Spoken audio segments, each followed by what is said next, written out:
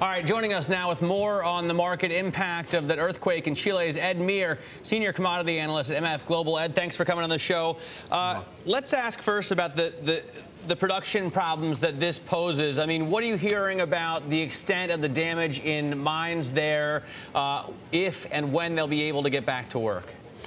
Well, uh, as you pointed out earlier, um, most of the Chilean mines are located north of the country, at least the major ones. So they've, they've escaped pretty much unscathed. Um, all weekend, we, we were uh, hearing reports that, uh, you know, uh, out of the 5 million tons that Chile produces, 1 million tons was temporarily uh, sidelined of that 1 million, most of it, uh, I would say maybe 80 to 90 percent has come back on stream. So uh, uh, there haven't there hasn't been any structural damage to any of these facilities. What's going on instead are the sort of the logistical problems we're having, like getting power connected to the mines, getting diesel fuel to run the generators, getting the roads cleared, things like that. So I don't think it's that serious. You know, Ed, we were just talking with our, our reporter Zara Burton about you know whether or not this is just a short-term play here, a short-term move or long term? You think it's just temporary? Uh, well, it, it, could have some staying power. After all, you know, it's a big uh, bite of the apple to, to sort of have Chile mm -hmm. under the gun like this. So, uh, you know, it, it could... Uh, um, it, it, could kind of elevate the trading range a little bit, but I, I don't think it's going to start any sort of a upwards stampede to like 8,000 or anything like that anytime soon. Keep in mind we have a lot of inventory both on the LME, on the exchange, as well as uh, with producers. And, and demand is relatively sluggish uh, outside of China, so that, that's helping. I wonder, you know, a couple of weeks ago, last week, we'd have been talking about the dangers of the price falling out of the bottom of cop the copper market because there are so many speculators in China holding holding copper. Is that still a concern for you? Is it heightened here? Uh, the volatility has been incredible, as you pointed out. I think we had a $1,000 move down, uh, which is about 50 cents a, a pound, uh, a, a month ago, and then we had an equally uh, an equally big move on the upside, also about $1,000 just, just two weeks later. So I think that's kind of par for the course right now. You're going to see these big swings.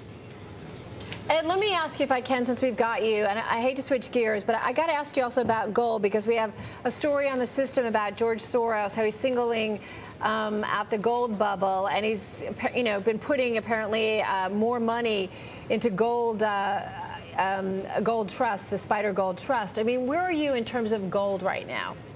I think gold, I mean, if you look at uh, the gold price, it's pretty cheap. Inflation adjusted, it should be around two, uh, $2,200 or $2,300. That, that is if you take it back to 1980 levels.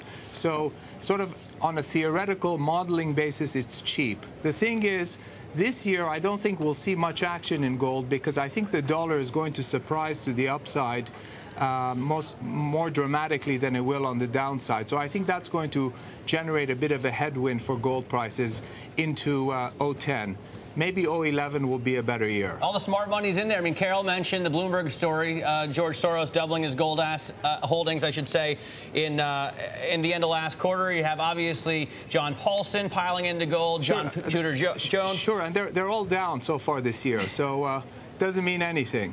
When do we see $2,000? I mean, you, you point out that inflation adjusted 1980s levels would be about there.